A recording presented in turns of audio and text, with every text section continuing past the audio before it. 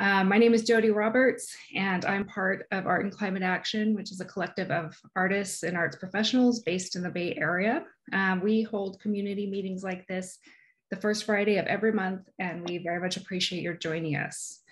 Uh, key to ACA's or Art and Climate Action's mission is letting our colleagues and friends know about resources and tools that will make their move to sustainable practices easier. And with that in mind, I'm thrilled to have Jae Cho, Laura Lupton, and Sammy Owen here to discuss Barder Dart, Barder.art, sorry, which is a peer-to-peer -peer resource sharing platform that's building a circular closed loop economy for museums, gallery studios, and other art spaces.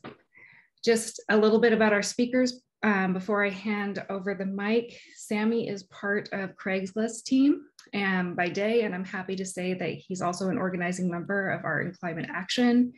Jae is a co-founder of Barder as well as director at Spencer Brownstone Gallery. And Laura is also a co-founder of Barder.art. And in addition to being a founder of Galleries Commit, an advising founder of Artist Commit, and um, a director at Barbara Gladstone Gallery. If you all have questions as we move along, please put them in the chat um, and we'll leave a couple of minutes at the end um, to answer your questions. But I'd love to turn things over to Sammy to get things started. Thank you. Hi, uh, thanks Jody. Um, thanks everyone for being here. So as Jody said, my name is Sammy Owen. I live in the SF Bay area. And uh, for the last 10 plus years, uh, I've worked at Craigslist as a software engineer. Before that, I worked in various art galleries in San Francisco as a preparator and assistant. I did a lot of art handling, installation work, and um, delivery uh, for private clients. So I, I came to be working with Art and Climate Action through Haley Mellon, who in October of 2020 introduced me to Jae over email, and I learned about this project he was working on called Barder. And we had a pretty long email back and forth about uh, the genesis of Craigslist and e-commerce and circular economies, closed loop supply chains, things like that. And when I say circular economy or closed loop supply chain, what I'm referring to is a way for people to use products until the true end of the product's lifespan. And specifically what we're talking about today is an internet enabled consumer to consumer closed loop supply chain. Uh, in the case of Craigslist, as most people probably know, uh, it could mean one consumer rehoming like a free couch or a plant or anything really to another consumer. And in fact, we even have like a motto at Craigslist and it's Craigslist, no crap. Okay, maybe some crap, but it's your crap. And it works. Um, recently there was a study in like 2018 that when Craigslist is being used by a population, uh, it can help reduce municipal solid waste. So that's things going to the dump basically by two to 6% uh, per capita in that region. But this also brings up an important thing that came up early in the conversations I was having with Jae, which is that due to the variety and enormity of stuff on Craigslist, it was a site that really wasn't working well for New York City galleries and artists to sort of reuse and repurpose and create their own circular economy with their own supplies, things like pedestals or installation materials or AV equipment. Um, and so we also talked a lot about the difficulty of categorizing all of that equipment um, in a way that the people using the website could accurately and easily find them. Um, and one of the things that Jae brought up really wonderfully and aspirationally about barder was that it would be a place that because the users would be speaking the same lingo the art world lingo and jargon that they could more easily meet and find each other's material needs. Uh, another thing we talked about was that the pseudo-anonymous nature of craigslist it didn't really lend itself well to organizations and individuals in new york city at the time sort of banding together for repeat transactions, which is really important because it just speeds things up and it helps keep that closed loop economy moving along. Um, early on, Jae described a really elegant approach to this, and it was, and I'll let Jae and Laura expand on this in a moment, but it was rather than connecting people like Craigslist does, which is a consumer to a consumer in a direct line, what if you could draw circles around those users or those consumers um, and because the idea of a circle is open-ended, it doesn't necessarily mean a geographic radius like New York City or the SF Bay Area, even though it can, but it can also mean like an industry and the specific jargon or needs or materials of that industry.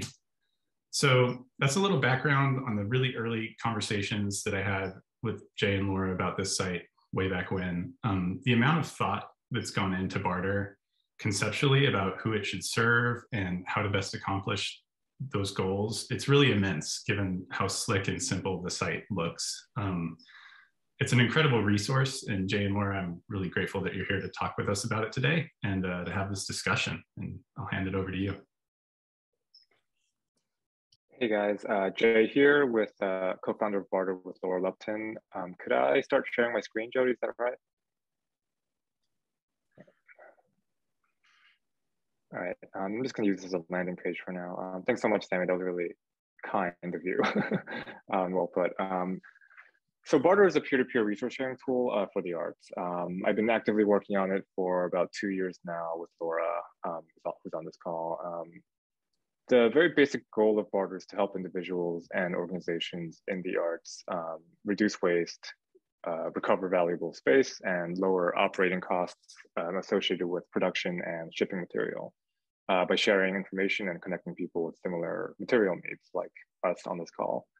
Um, but I guess to start off, I'd like to touch on the origin of Barder a bit. Um, the idea came pretty unremarkably about 10 years ago for me. Um, one of my first uh, art world jobs out of college was art handling for a small gallery in Chelsea, New York. And um, I was really struck by the amount of temporary material that our industry demands. Um, I remember we had a large storage unit just chock full of you know perfectly usable frames, AV equipment, lighting equipment, and uh, obviously crates, um, all usable, all valuable, uh, just collecting dust. And um, as we all do, we were all constantly fabricating or buying new versions of the same thing, you know, just over and over again while storing new stuff or just you know throwing it out or breaking it apart. Um, and it also you know became quickly obvious that um, pretty much this, this was pretty much universal um, across the art world whether you're an art gallery or museum or studio um, so you know the very very basic question i remember asking myself about it was um, you know what could happen if everyone in our community in the arts shared information about what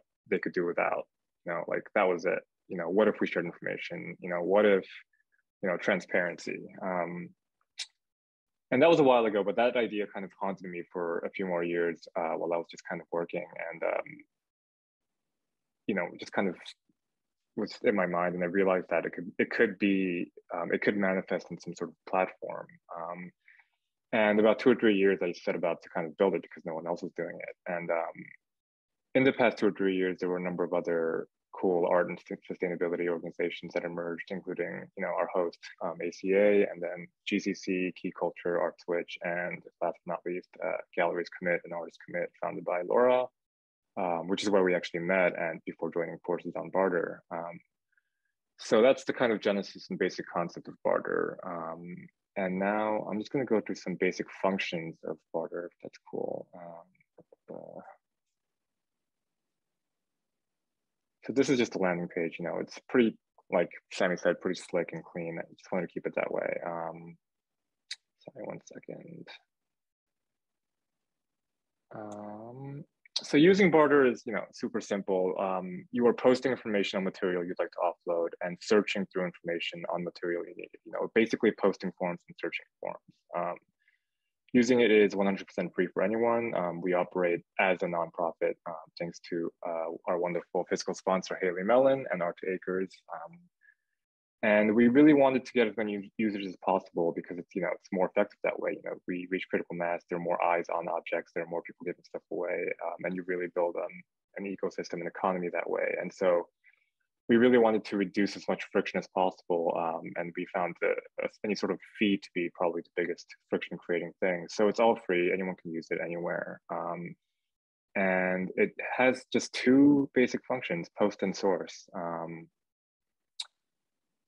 this is the post landing page. Um, you need an account to post anything, um, but you can source through objects without an account. Um, I'm just simply just post something.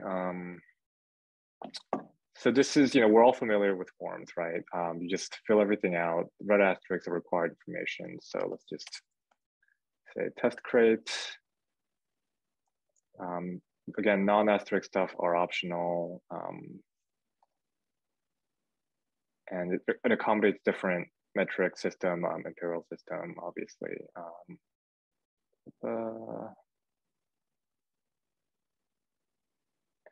auto populate this and insert a photo.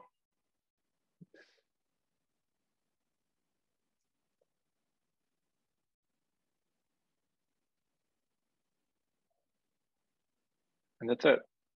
Um, if you go back to my posts, you will see that an item is posted. Um, let me just find it.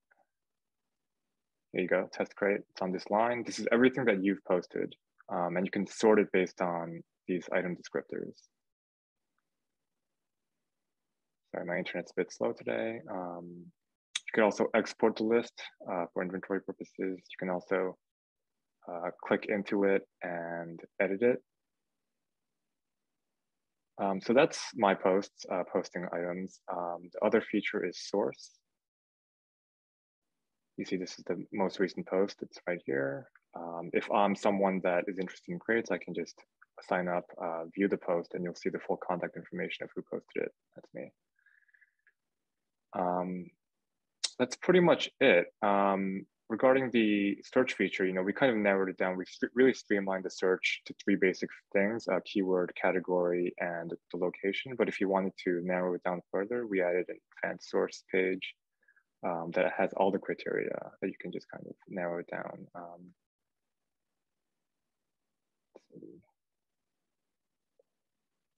Um, um, so I run a gallery in the Lower East Side in New York, and I've been using it um, obviously for the past year, and I'm actually excited to report that this thing works. Um, we managed to get rid of four pedestals, um, a crate, some canvas to an artist. We even sold a shelving unit, and you know it's still in its early stages. We are still looking to get people on it, but uh, you know I was really happy to find people um, needing stuff and getting it and sourcing secondhand. Um, so yeah, it works. Um, and that's basically it. Uh, pretty simple. Um,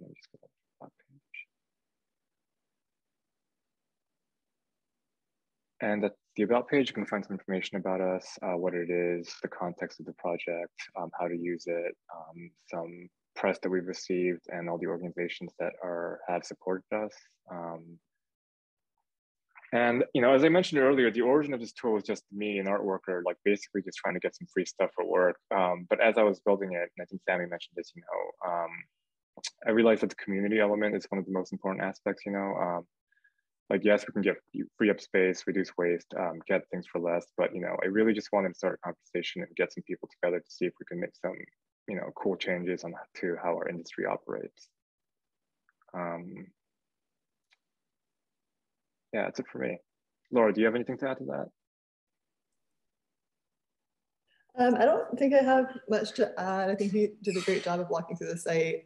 Um, I would just say that for like my own use of the site and what's been really um, interesting or effective for me is how it has given me a much better sense of community with other people in the art space, like people that have reached out to me to um, take a piece of AV equipment that I've posted um, or some fabric that I've posted it's I think that you feel this with Craigslist even when you post, like you end up meeting somebody, they come to pick it up. Um, but in this space, I'm meeting somebody or I'm having a conversation with somebody that's also part of our sector. Um, and that's been a really nice way to feel more kind of inter-gallery or inter-art space connection within the like our New York City community as well. Um, and I think that a lot of the things that have been interesting around talking about expanding this or making the tool a really active space of intercommunity exchange um, are talking to groups that are able to think about trying to activate a larger space. So right now you'll see most of the listings we have are either in Brooklyn, the New York area, or Los Angeles, the LA area. Um, and those are partially because that's where the communities that we already know from Art and Climate Action and Artist Commit and Galleries Commit are most active. Um, but we see a lot of potential. The tool is available. The tool is available and operable in any geographic location. Um, it's really just a matter of having a community that signs on and posts so that it can be a really active and populated place of exchange.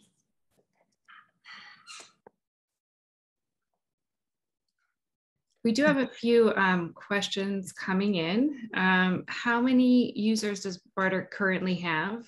Um, and how many of those are, are active? Or can you tell them?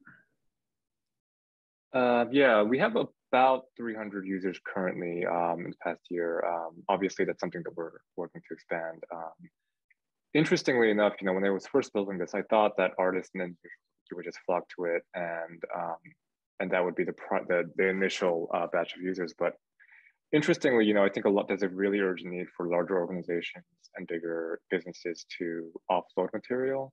And so even though the numbers are small, we have like some of the biggest organizations represented in our user pool. You know, I can't, I don't know if I should name names because I'm not sure if it's like a company sanctioned use thing. Um, but you know, a lot of big museums, like the biggest top biggest galleries you can think of, are on Barder right now. Um, um, it's hard to gauge um, the level of use. You know, um, I can't. You know, we're not really trying to track too much dat- data, obviously, and we don't have the means to do that. Um, so I'm not sure like how many people are like going on it on a daily basis or weekly basis and, and clicking through it. Um, but just speaking for again for myself and my use of it, it seems like you know um, people are interested in getting things for less, obviously, and and, and galleries are interested in offloading. So um, well, I guess we'll see. Yeah. Um, that answer your question? Yeah. Yeah, definitely. In terms of, you mentioned that um, a lot of materials currently are being posted from LA or New York. What is the best way to grow communities outside of those areas, say the Bay Area, yeah. anywhere really? That's a really good question. And that's something we're working on. Um, and this is, I mean, this conversation is what needs to happen, right? Um, like I can't come into somewhere like Colorado and just be and just say, you know, this is bar use it. I mean, it'd be great if there were, excuse me, um, existing networks already, you know, um, and existing conversations surrounding this stuff that we can be introduced to um, and sort of see this idea in that community. Um, so if you guys have um, existing networks outside of, you know, um, LA, San Francisco, New York, um, I'd be happy to, you know, talk mm-hmm. and get that going there. Yeah. Yeah, I think that one of the main focuses we've had recently has been working with um, existing networks and cities, and that's part of why LA and New York both have the most activity. Um, we've worked with, um, there's a group in LA that's emerging called Museo Cycle, which is a museum-based group um, that has been doing outreach to different LA-based museums.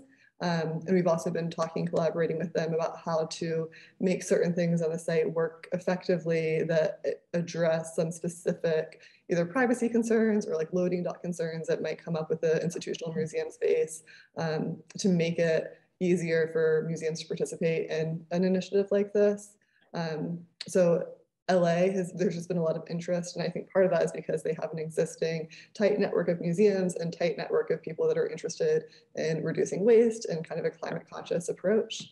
Um, and so similarly in New York, and Jae and I are both based in New York. We have a lot of connections to the New York gallery scene um, and art scene here. But we've also been in talks with um, groups that are in London, some other areas of Europe, um, and some areas in Canada that are interested in kind of like using their existing networks to encourage group use of the site.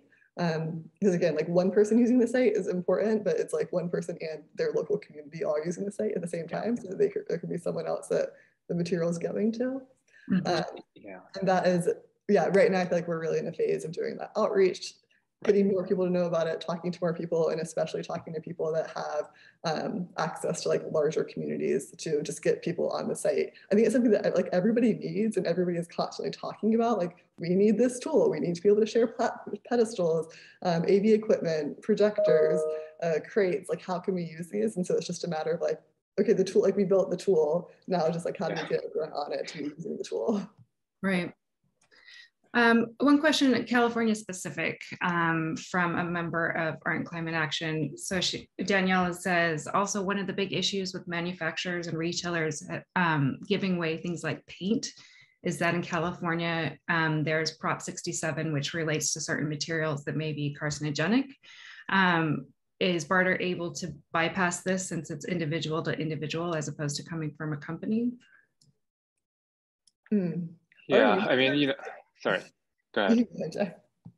Oh no, I was just thinking, you know, the, the, the one way, I mean, there's a lot of similarities, but um, the common thing with Craigslist is that, you know, it is peer-to-peer, you know, we're not overseeing any of the transaction. And I don't think even if we wanted to, you know, uh, the liability of that has always been something on our minds. And um, I, I mean, on to be honest, I haven't looked into that, um, but I because it's again peer to peer direct, um, I don't think it should be an issue. I mean, that, I mean that's sort of why when you post an item, you should you know um, fill out as much information as possible. And that thing, including you know that and also just like museum security stuff. I mean, that kind of protocol should be uh, made transparent in the post. Um, and there's areas where you can do that. So.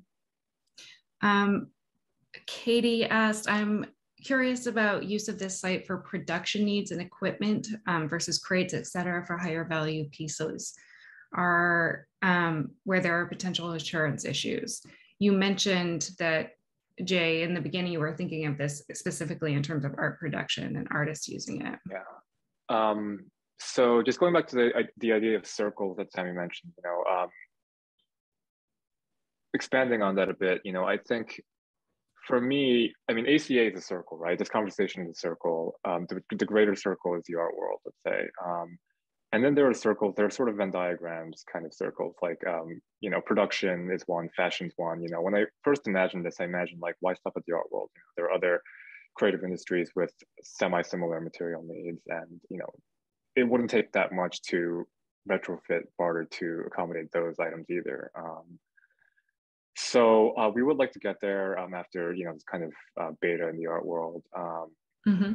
I'm sort of digressing, um, but um, you know we can. I'd love to talk to you further about that. Um, I haven't really, you know, we haven't really like gotten there yet. Um, yeah, that's fair. Yeah, I think that part of that question though is uh, like production for like production thinking like film production or other things, but also like within the art space, like production, whether that's a projector or like if one gallery has a scissor lift or a forklift that they own and they would be happy to let the person across the street borrow that um, if it was on a temporary thing, but that might have additional things like an insurance, requ uh, insurance requirement or a loan agreement requirement.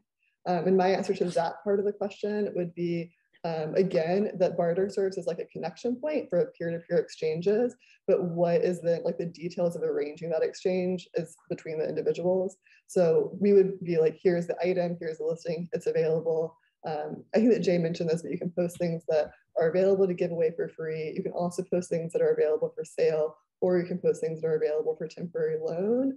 Um, and if something were going somewhere on temporary loan, then it would just be at that point between the two of you to figure out what a loan agreement could look like and what those terms would be. The way that you would do if you were requesting a loan agreement from anywhere else is just because you found it on barder, we were the point of contact to make you realize um, that that material existed and was available for you to reach out to. So like, yes, you can have insurance values. It, would, it wouldn't go through barder, it would go through just your own paperwork that you would do offline. Sure. And if I actually could just, it was my question, Katie speaking. Hi. Um, um, I, I actually did mean like production items like in the art world and that a gallery would use like I think Laura had mentioned um, earlier like AV equipment and things like that. I just in was wondering more like not in terms of liability for barder but like for using it for broader purposes like for crates for storing artwork if you've seen so far that it's more active in the areas of like production items versus like crates which would possibly leave like a gallery space or an artist yeah. more liable to reusing those types of goods um, so that's more the direction that i was kind of wondering uh-huh. in that uh-huh. question um, i think it's a bit early for us to kind of examine like trends and patterns of use um, so I don't really have an answer for you. yeah, um, pedestals have gone yeah. really quickly. Like pedestals are posted. Yeah. most of them have been claimed pretty immediately, or not immediately, but they've now been claimed. um, and crates have been posted. Some like Lots of crates. Yeah, miscellaneous miscellaneous art supplies. Like um, I posted a bunch of blackout fabric, and there was a lot of interest in that. Um, like a projector screen that was posted, people had a lot of interest in that. I mean, yeah. So those are like I think case studies or anecdotes of what's gone so far, but because we're still yeah. in early phases and like things are just getting posted, I don't know if that's representative of what major trends will be on the site. Like I think that if somebody had a projector up there and it was a nice projector and it was available for loan and it was like in the Lower East Side or in Chelsea and other people could use that, I think that, that would get a lot of like active use and maybe that would be going through loans and maybe that would have a small loan fee, but that loan fee would be kind of a friends and family situation, not like going to. I, just, I say that because I know that working in shows where I do video work, when you rent from like the rental houses, like projector rentals are not designed for two month rentals. So they end up being really expensive. You instead have to buy it. You buy these really high end projectors and having one that was kind of more shared across the sector would be yeah. a beneficial like access point. Yeah, it seems particularly helpful in those cases. Like, you know, I've put up shows and all of a sudden I need five screens, like five televisions, and we're not going to buy five televisions for a three month show. Um, how do I access that quickly and temporarily?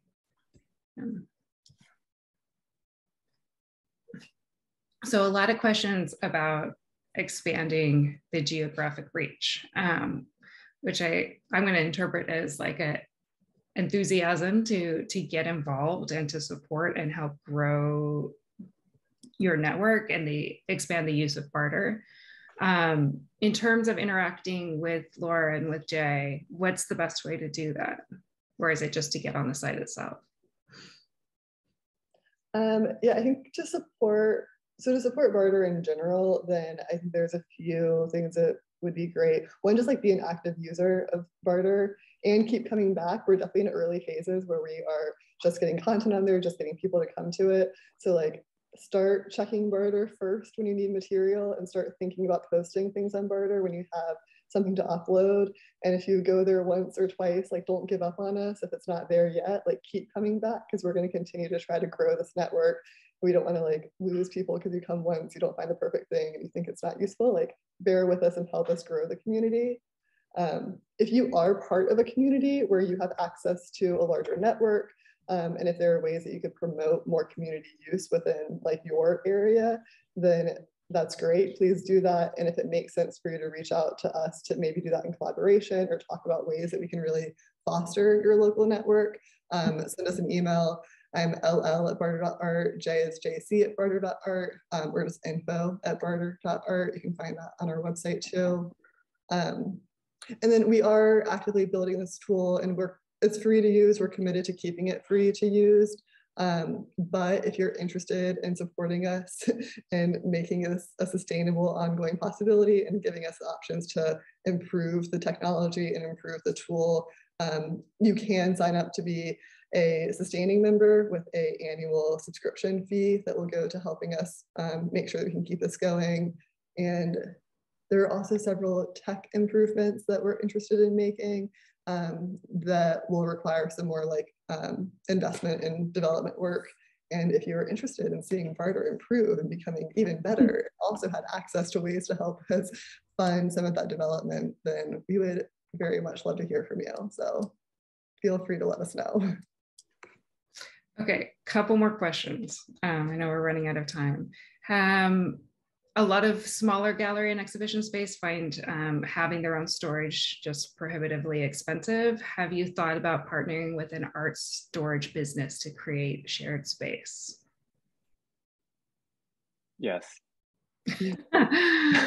Conversations are ongoing, I take it? No, yes, yes. Uh, the conversations are ongoing. Um, it's again early stages. Um, that's that's definitely occurred to us early on. You know, like the natural progression of the concept is you know, could there be a drop drop off location for objects? You know, sort of a middleman for this. Um, um, we were kind of hesitant at first, honestly, because I'm not sure if that necessarily like reduces, you know, you know, transport CO2, for example, um, and also just like the the overhead of running, um, overseeing the physical site is not within my capacity or Laura's capacity yet. Um, so, uh, but you know, we're definitely maybe if there's maybe there is a, a larger company that is interested in, in, in going into sustainable practices that would be yeah. um, open to something like that um, and might manage even, themselves. Yeah. Yeah, it might be great even thinking about it region to region because so many cities have sort of arts districts um, where things yeah. are grouped together and it's a common space in a district like that might make a lot of sense but I love that you guys are yeah. thinking of it holistically. It's not just about material waste, but also transportation of objects, that sort of thing. Um, so. Yeah, definitely. And it's not all. It's also not just um, you know uh, shipping companies and storage companies we're in conversation with. You know, we we had a sort of test run collaboration with uh, Frieze LA art fairs, for example. You know, which are big, create a lot of waste and in a very short amount of time. So mm-hmm. um, we are kind of thinking across the board in all these different use cases for material, which are many. Um, um, but more on that later, I guess. Yeah. Yeah. And just one more clarification on the search function. You can search within the site for what's already posted. Can you also search for something that's not currently on the site? Yeah, uh, that's a good question and one we get a lot. Um, that's like one of three major kind of tech features that we want to implement that we don't have the means to right now. Um, we, you know, basically need funding to improve um, our features at this point. But you know, I understand the desire for like an alerts feature, you know, where you can get an alert for something that has been posted um, that you that you need um, or something like that. And also, we are we are interested down the line in implementing like an internal like in-house chat feature, so you don't have to like necessarily go off the email third-party um, communication thing. Mm -hmm. but yeah, we're we're on we're on it. Sounds good. I mean, one thing that we are doing right now, Jae, is um, you can follow us on Instagram at barder.art on Instagram. And we're posting recent listings there so that instead of coming to the site, you can just kind of like see it in your feed. Um, and we have been posting want ads through those stories. So if you send us something that you're looking for, then we can make a Instagram story post and it stays live on our stories until it's fulfilled. Yeah, I'm so we're, I'm so bad at Instagram that we're not going to bombard you with posts. So um, you're not, um, it'll just be like once a week tops. All right. Well, clearly you guys are like thinking through future problems, problems, opportunities. Um, I love to hear that so many people are already using it and to see the postings that are up there. Um, internally, we, we constantly talk so much about, oh, these crates, oh my God, the pedestals every time, to, you know, make them, break them down, throw them away, remake them. And thank you for coming up with a solution um, that's going to let us reduce that waste. Absolutely. All right, well, if you all have any questions for Laura, Sammy, or Jae, um, you can contact Art and Climate Action through our website or info at artandclimateaction.org. Um, you can contact Barder directly at info at barder.art. Um, and we're happy to hear your feedback and would love to see this resource grow. So thank you all for being here. That's great.